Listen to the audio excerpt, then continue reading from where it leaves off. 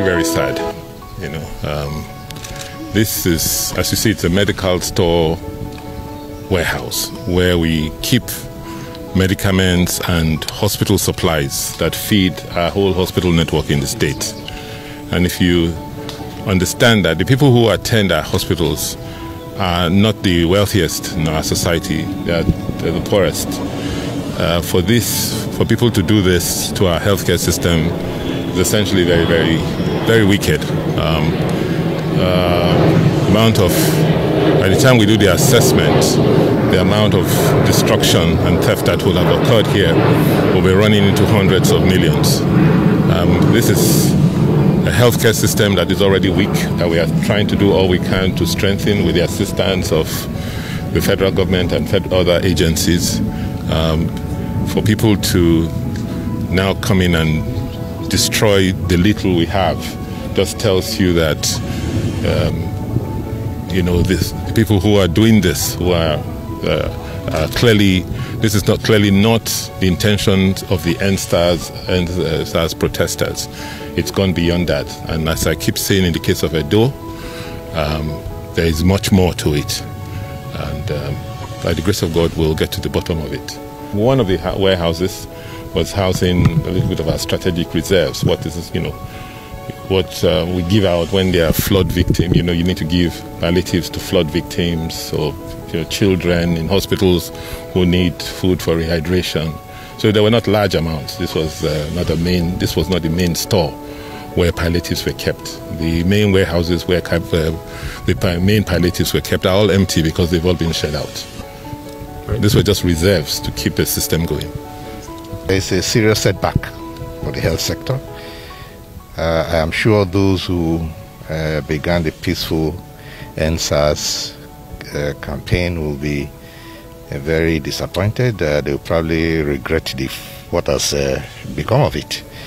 it's going to be very difficult for Edo State because all the things that have been damaged or vandalized here now somehow or the other have to be replaced. That will take time, that will take resources. And as we know, not everywhere is time on our side. And resources are also hard to come by. So this is not going to be at all beneficial to the people, to the masses in Edo State. And uh, I would like to urge all of them to put an end or see that they put an end to these kind of initiatives, these kind of activities of breaking into places and in search for things that are not. The damage what is what millions, as, as we have heard, uh, hundreds of millions, probably billion, and uh, the cost in service will be much more than that. And uh, in, in lives that you would have liked to save, uh, these are all meant to prevent disease, a lot of the vaccines and to, to support uh, treatment. And if you take it away from the health system, it's going to have effect and repercussions. So I, I do hope that this is the very last we shall see in this state. And I also hope that uh, the community, if they know of where these things have been taken to, will urge for those that can still be reused to be returned, not to throw them into the bush. A lot of them are very expensive medicines and vaccines for which they have no use and have broken here in the belief that there is food and there is uh, just medicines to a large extent here. We did our deployments early enough. If you even look around, you see deployments from all agencies. We have deployments from the Nigerian police, from the military, the army, the, the air force. We have the civil defense. We have the DSS. Our deployments were made early enough, and our people were on the ground, fully on the ground. If you look around, you see that this is a very, very large expanse. And the people surged in from different angles. I want you to take a walk around here. You will see that a large expanse and the people attacked from all angles. And we exercised enough of restraints in the use of lethal weapon. So what we have done is to reduce possible casualties.